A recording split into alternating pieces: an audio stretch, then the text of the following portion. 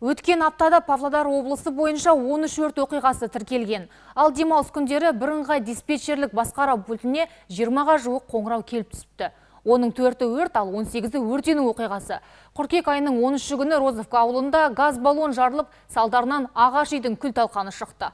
Оқиға сағат 2-де 38 минутта орын алған. Шұғыл өртке жеткен сөндірушілер қызыл жалынды 16 сағат 37 минутта ауыздықтаған. Осы ретте өңірдегі төтеншеліктер пеш жағу, баллонды қолдану кезінде өте мұқият болуға шақырады. Павлодар ауданындағы Розовка ауылындағы өрт туралы хабарлама келіп түсті. Оқиға орнына өрт сөндіру қызметінің нөмір үшінші өрт сөндіру бекетінің қызметкерлері аттанды.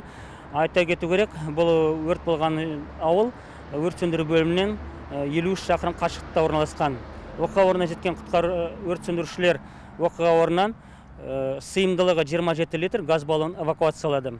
Өрт сағат 16.37-те ауыздықталып, сағат 18.29-да толықтай сөндірілді. Өрттің шығу себебі пешті жағу кезінде өрт қауіпсіздік ережелерін сақтамау болып табылады.